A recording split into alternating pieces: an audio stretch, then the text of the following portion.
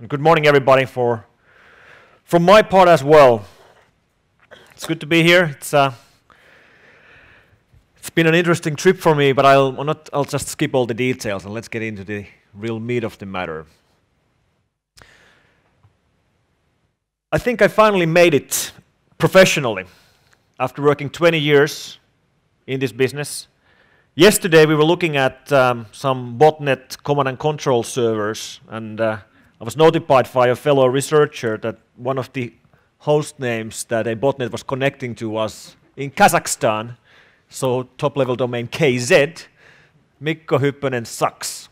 It's operational right now at, uh, at the IP address right, right there, so you can, we haven't taken it down yet. I, uh, how could I be angry about that, right? You know, it's most likely related, related to the same gang who was operating Predolab earlier. But and of course, if you're interested on who registered the domain, you can go and uh, check it out from the Whois. It's by Dancho Danchev from Gainesville. I didn't know Dancho lives in Gainesville, but that's.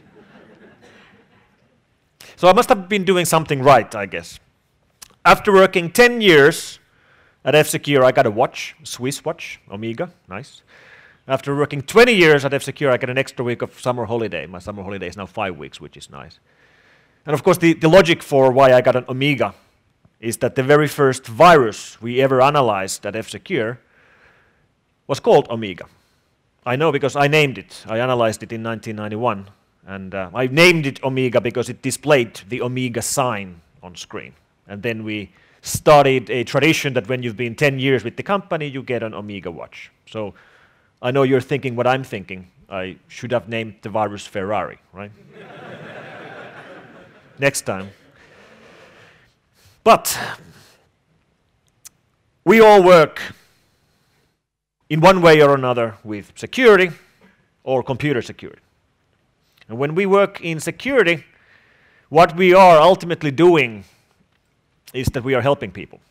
People obviously cannot hope to cope with today's computer security problems by themselves. I mean, normal human beings can't do it anymore. It's way beyond that. If you look at just, just viruses, I mean, that's something that people used to know that they were infected because viruses would do something. You know, at the very least, they would be destructive. People know that there's something going on because they are going to lose all the files on their computers, or the computer keeps crashing or rebooting, or a virus plays music or shows funny animations, something like that.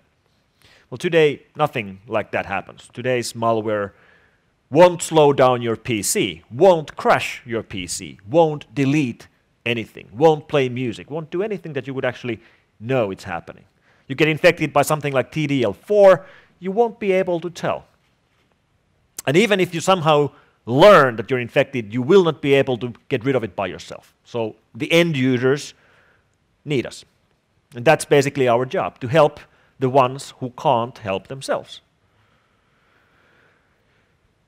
And the best way for us to help the ones who can't help themselves is to understand who we are fighting. If we want to secure computers, sure, we can run all the firewalls and do all the backups and, and do the patching and you know, whatever you, you can think of, but that's actually not going to make the problem smaller. That's like a band aid, right? It, it helps with the immediate pain, but it does nothing to reduce future attacks. The only way to reduce future attacks is to understand where the attacks are coming from and try to do something to minimize that. And the attackers keep changing. During the 20 years I worked in this business, they've changed several times. When I started, almost all the attackers were doing the attacks for fun for, for fun, for challenge, for fame, maybe. That's what they were. Teenagers hacking servers for excitement. And of course, there are still attackers like that as well. But overall, today, I would group all the attacks into three main groups. We have, first of all, the organized criminal gangs who do the attacks to make money. Second of all, the hacktivists. And third, attacks launched by countries and nation states. That's where the main attacks are coming from. And I decided to give you examples of, of each of these. So, organized criminal gangs. Who's he? Scarface, right? How are you doing, Scarface? Are you, are you there?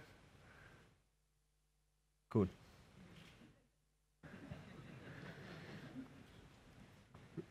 This is not the kind of criminal we're fighting when we're fighting organized crime on the net. We're not talking about real world mafia. We're talking about completely new kind of organized crime. In fact, let's think about organized crime. What is organized crime? What was organized crime 10 years ago? 10 years ago, organized crime was drug trafficking, money laundering, smuggling, stuff like that. Since that, over the last 10 years, in addition of that type of international organized crime, we have suddenly we are now suddenly facing all this internet organized crime, which didn't really exist in the sense 10 years ago. I mean, nobody was writing viruses to make money 10 years ago. It started pretty much around 2002, 2003. And that means that the overall amount of international crime has just exploded over the last 10 years. What about the resources to fight international crime? Ha have those resources also exploded? No, they haven't. In fact, they're pretty much exactly the same resources we had 10 years ago, things like Europol and Interpol and so on. And we are actually doing a lousy job in fighting international crime when it comes to online crime. And that's one of the main, main challenges we have. We pretty well know what we are supposed to do. We're supposed to use international law enforcement to catch international criminals and put them behind the bars, but we are doing a lousy job in actually doing that. Although these guys aren't real gangsters, they like to look like gangsters. For example, this is Gangsta Bucks, a website operating in St. Petersburg, run by Russians specializing in buying infected computers or buying access to infected computers. So if you are a virus writer but you don't, how, don't know how to monetize the computers you infect, you can simply sell the computers you've infected to these guys, and they'll pay you money. The money depends on which country the infected computer is in. Here's another one. This is uh, iframebiz.com, used to run in St. Petersburg. It's, it's been down now for a year or so. But it sort of gives you a good impression of the kind of uh, lifestyle these guys would like to try to impose on virus writers. You know, write viruses, make money, buy a BMW, impress girls, you know, that kind of lifestyle. But is it really like that? Is that really how virus writers live? Do they really make money with viruses? Well, here's a photo which was found during forensic examination of a drop site, a server which was used in an operation related to banking Trojans. While doing forensic examination, there was this deleted folder which was found, and that folder had a bunch of images taken with a digital camera. One of the images is this. We tried to estimate how much money there is in the photo. It's around $1.5 million. Yeah, and yes, that looks like a lot of money, but we have to remember that the value of dollar has been going down.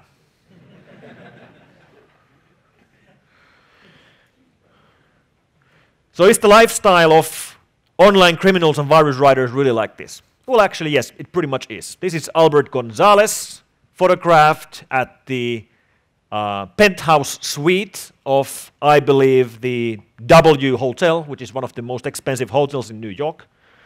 Um, this is his partner in crime, Mr. Stephen Watt, known online as a Unix terrorist. If you actually go online, you'll find a video of his DEF CON talk from DEF CON Las Vegas from 19, I don't know, 2002 maybe, something like that.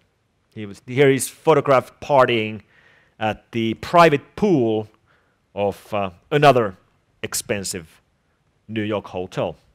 So how can these guys afford a lifestyle like this? Well, of course, they're not paying these bills with their credit cards. They're pay paying them with our credit cards. So these guys were Americans, but the majority of the attackers actually are not. In fact, if you look at the hotspots globally, of course, Russians, or Russia, Ukraine, Kazakhstan, Belarus, here in Europe, maybe Romania, uh, Moldova produces much more malware than, than they should for a country of that size. um, China, uh, Brazil, and so on. Here's Dmitry Golubov from Ukraine. Next to him, Vladimir Chachin from the city of Tartu in Estonia. Examples of the kind of guys who are behind these attacks. And of course, the mechanisms vary, but they are basically typically in the range of rogue antiviruses, rogue registry cleaners, which are pushed to end users, keyloggers to steal the credit card numbers, banking trojans to move money around from online banks. Here's uh, the Swedish Björn Sundin, together with his partner in crime, uh, Kumar Jain from United States. These guys were behind the IMU operation. So the actual uh, coders who were writing the malware these guys were using to become rich were all Ukrainians. But these guys were not Ukrainians. They were running an international crime gang where the actual coders were in Ukraine, but they themselves were mostly in USA. These guys are still on the run. This picture is from Interpol pages, from the wanted pages. Nobody knows where they are, but the Secret Service from United States froze a Swiss bank account belonging to Shailesh Kumar Jain around two months ago, and that bank account had 14.9 million US dollars on it. So the amount of money these guys are making is significant. Last statistics from Brazil say that the Brazilian banks lost 480 million US dollars to banking Trojan attacks during the first half of this year. So there's somebody walking around on the streets of Sao Paulo with 480 million US dollars in their pockets. Think about that. That's a lot of money, especially in Brazil. That is a lot of money. In fact, quite surprisingly, Brazil is the number one country in the world in producing banking Trojans. Brazilian banks have probably the best security mechanisms I've seen anywhere else because the attacks are so bad. And even though mechanisms are great, they are still broken all the time, regardless of what kind of mechanisms they've tried. And they've tried pretty much everything, including, of course, one time password, challenge response pairs, um, uh, custom made Java interfaces for the online bank, Java.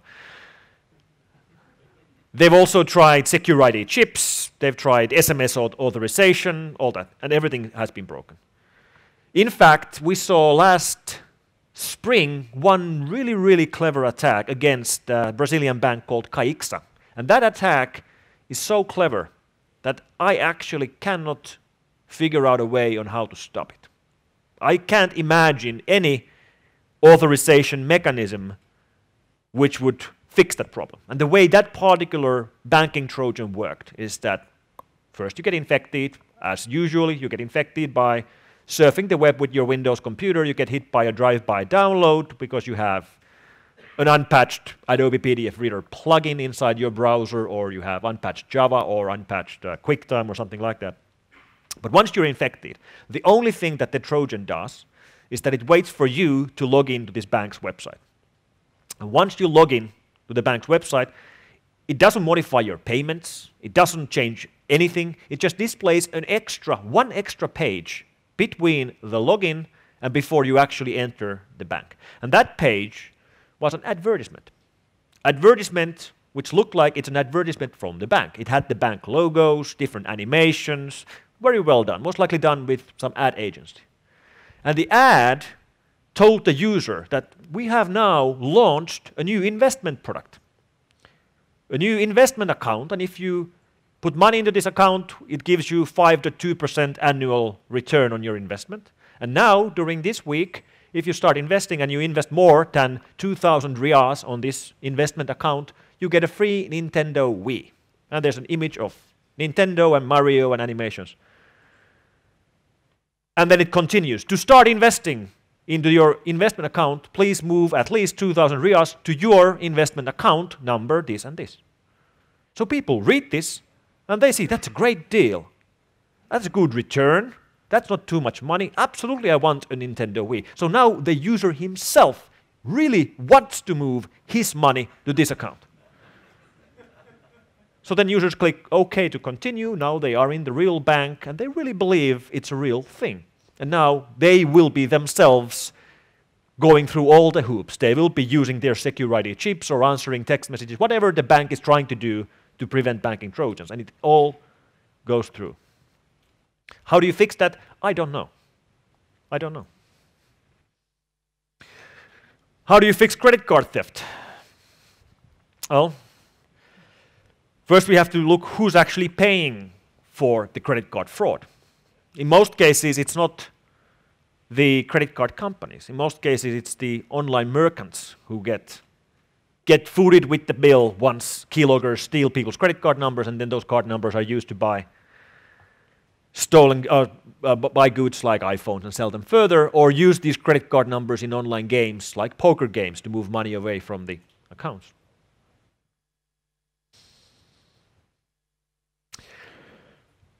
One more example of banking Trojans.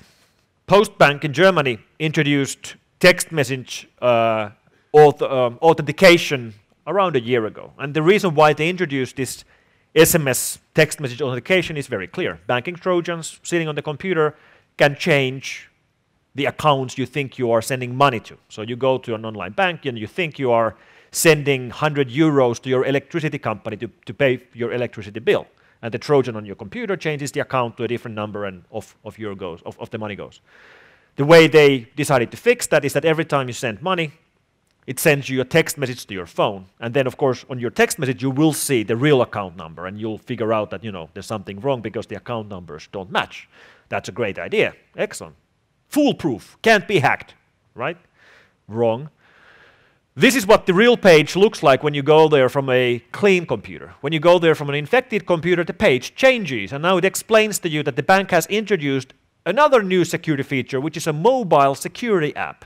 Please give your mobile phone number here so we can send you Sicherheitskontrolle, a security control program running on your phone. And they have a version for Android, for Symbian, and Blackberries.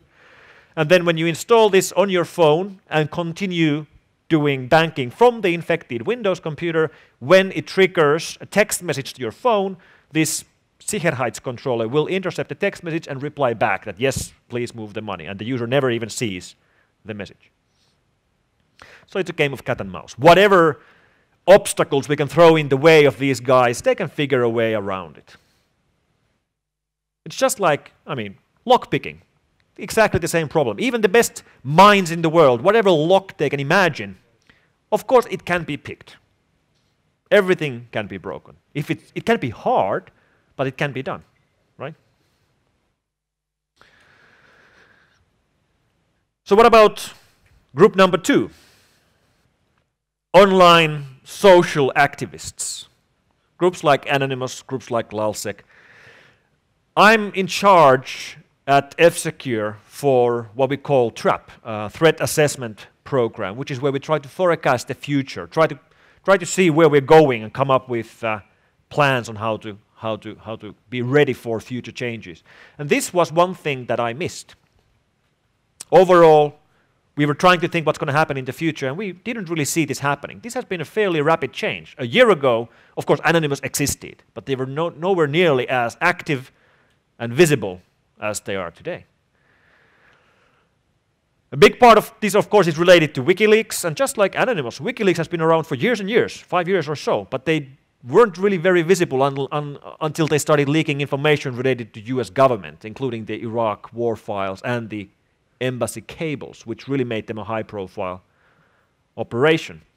Which, of course, caused into problems after Visa and MasterCard stopped money traffic in donations to WikiLeaks, as we know, very quickly Anonymous took offense in that and started the large-scale denial of service attacks against Visa and MasterCard, and quite surprisingly, shutting down, at least briefly, but shutting down anyway, both Visa.com and MasterCard.com. And by the way, Visa.com runs on top of Akamai, so it's, it's actually pretty interesting that these guys were able to shut it down with fairly simple attacks.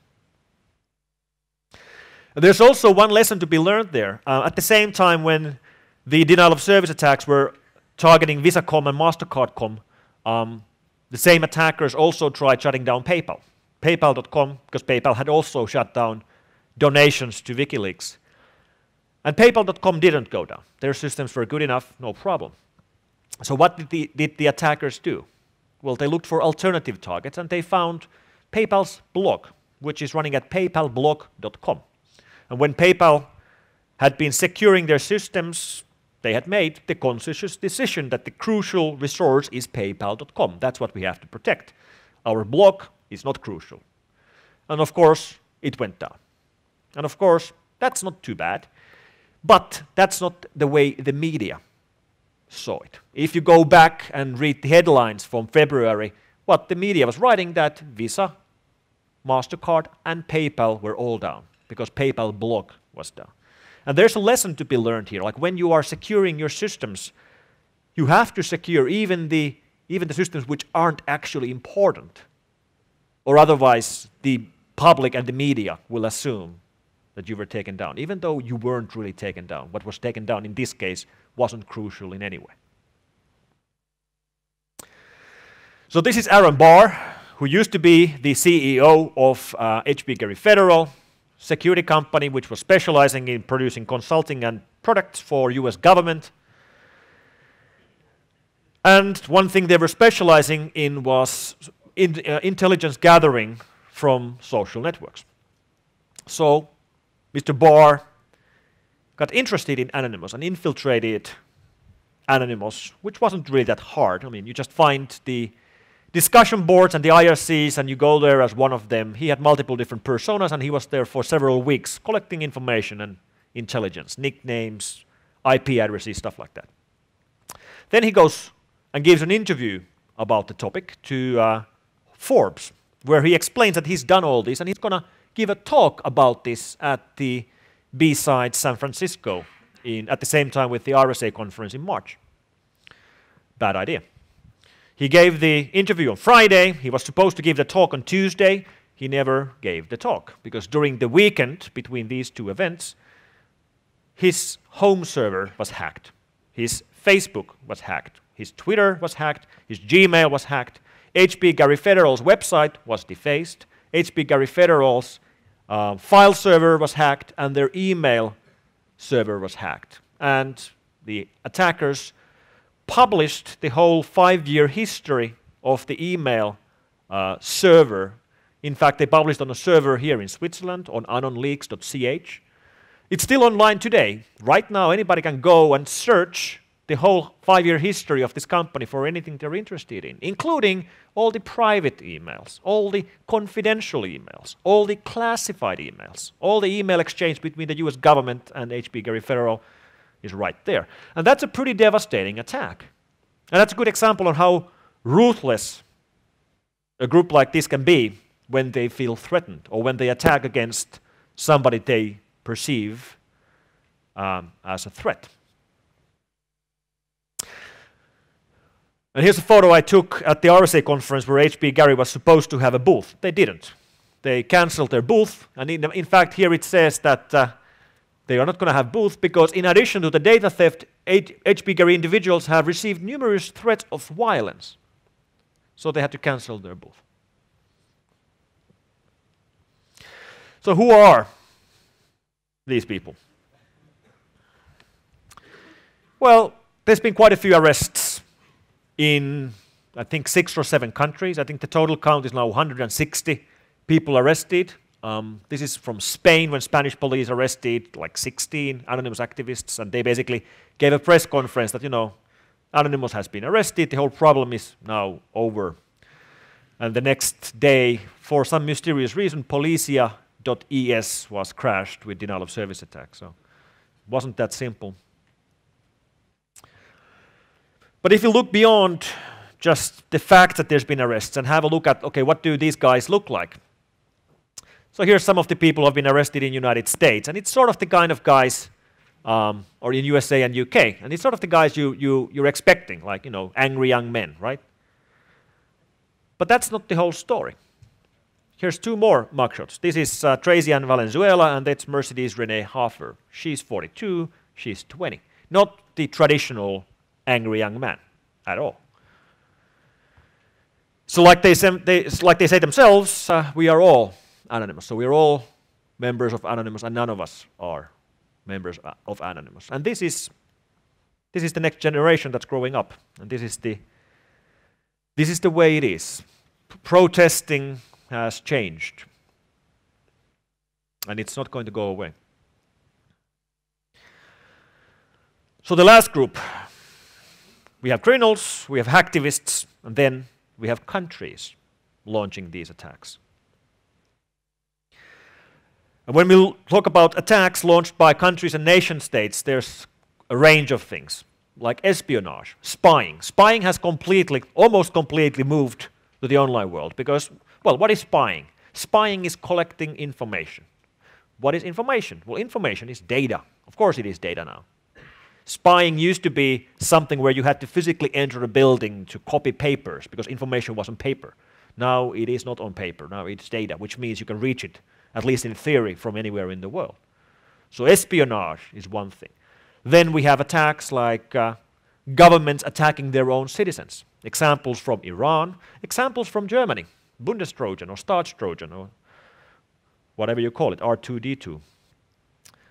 And then we have, for the lack of better word, things like cyber war or online warfare of which we haven't really had very, very good examples yet, but we will. Because military has changed. That's a great weapon. Like throw tanks at your enemy. That's going to do it. I can't explain the image. I just found it online, but I, uh, I'm fascinated by the mechanisms of this.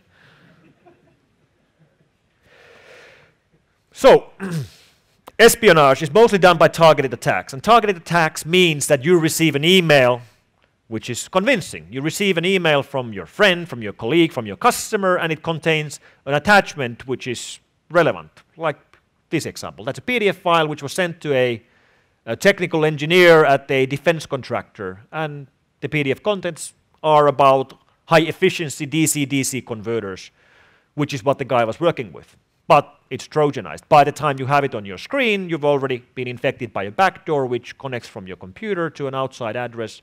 Who's, whoever is at that address has full access to your PC and full access to everything you can access in your local area network.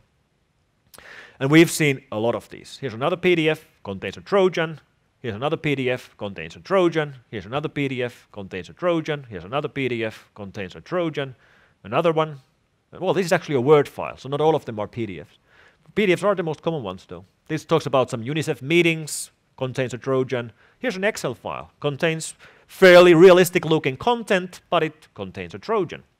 Another one, here's another PDF file. Here's another one sent to an Air Force uh, uh, general. This is a Word file. We found this like five days ago. Then we have these as well. Like this, this not all of them are like business content. I don't know who she is, but this was one of the files we found like two weeks ago, contains a Trojan, and so on, and so on, and so on. That's a PowerPoint file. And we do see these in all different languages. Here's Russian, this is German, Speichersystem, Leistungsmerkmal, Todesstrafe. My German is rusty, but looks fairly convincing to me. I don't speak Arabic, but I'm convinced that's fairly convincing as well. so who's he? Well, this is Alfred Nobel. Alfred Nobel, the, the guy who innovated dynamite. And because dynamite ended up being used in wars, he got a bad conscience out of it when he got older, so he created this Nobel Peace Prize.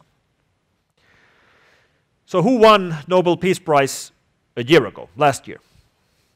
It was a guy called Liu Xiaobo, this guy right here, a Chinese dissident who were not able to pick up the Peace Prize in person because he's under house arrest in China. This here is nobelpeaceprize.org, which is a website run in Oslo. And pretty much exactly a week after this Peace Prize was announced, this website was hacked. It was hacked, and somebody inserted a drive-by download with one line of JavaScript to every single page on nobelpeaceprize.org, and that one line of JavaScript launched a attack with a zero day against Firefox. So if you visited Nobel Peace Prize with Firefox, you get hit by a backdoor which gained access to your computer. One of the administrators of this website investigated the case found out about what had happened, cleaned the site, did forensic examination, analyzed how they were breached, fixed everything, analyzed the exploit. He did a great job overall in fixing this. In fact, he did such a great job on fixing the problem that he got invited to the Nobel Peace Prize ceremony. he received an email.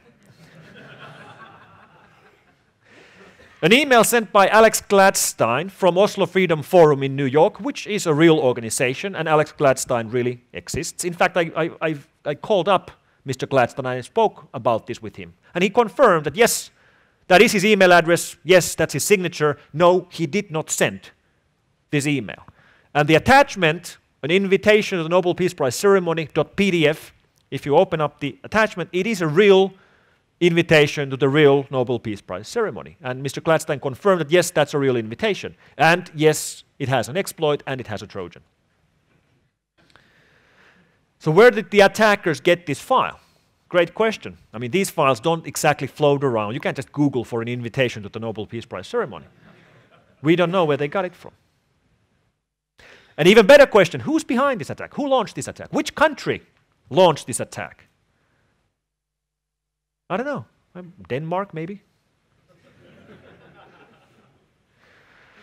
And of course, China has always denied any involvement in any espionage or in uh, online attacks, online warfare, any of that. But they did run into a slight problem earlier this year.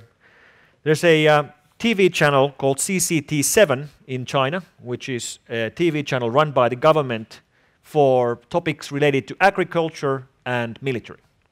And they published a documentary about online warfare earlier this year. And it's like a 20 minute propaganda documentary where two generals explain the concepts of cyber warfare and, and how to defend and how to attack and all that.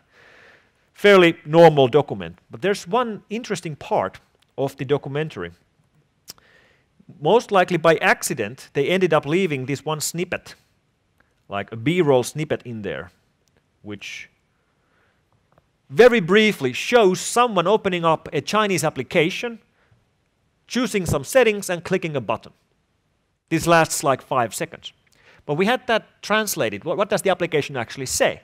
And the application says at the top, it says copyright People Liberation Army, choose a target. Here's target lists. He chooses one which has an IP address and clicks a button which says attack. And the IP address is in United States of America. And that, this is, my friends, what I call the smoking gun. Right. No matter what they say, the fact is they have written a program like this. And it is copyright PLA. And they showed this themselves on a propaganda documentary they made themselves, which was aired on a government channel. When we found out about this, um, when we, we put, it, put this in our blog, we, we guessed that it's going to disappear, the documentary is going to go away from the website, and it disappeared from the Chinese website two days later, hasn't returned. So most likely this was some sort of a goof. They weren't really supposed to make this public, but they did.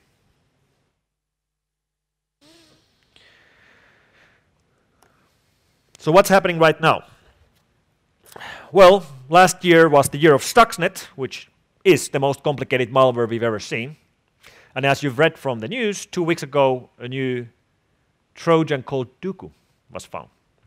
And Duqu shares a lot with Stuxnet. It shares code, but even more importantly, I think it shares techniques, including the fact that it has it uses signed kernel drivers, which have been signed with real certificates, which have been stolen from companies in Taiwan. Stuxnet did this, Duqu does this. In fact, one of the drivers used by Duqu um, uh, is, is, uh, has been published by a company called JMicron, which is a real company in Taiwan.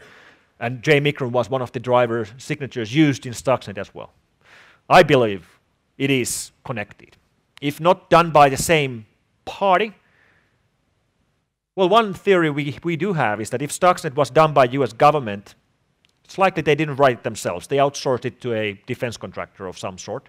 Maybe it is that company, or maybe it is individuals from that company who participated in Stuxnet development doing something on their own now.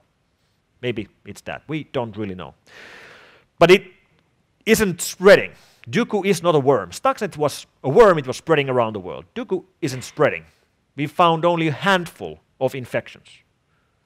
One of them in Hungary, um, one of them uh, in a country I can't name, six, seven of them in Iran, which is interesting, and one of them in this country.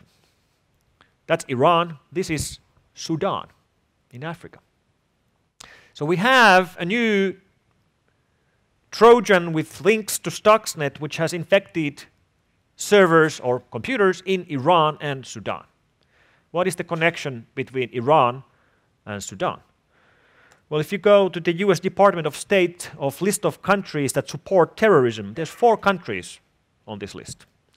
Cuba, Syria, Iran, and Sudan. Now, this is probably a coincidence, right? So, that's the enemy we're fighting. We have the organized crime, we have the hacktivists, and then we have nation states.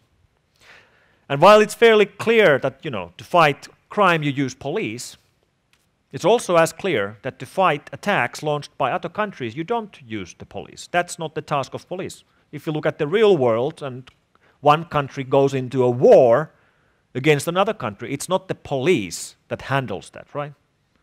It's not a crime, it's war. So we probably shouldn't be expecting these nation state attacks to be handled by traditional law enforcement either. That's not their job. But one thing is clear.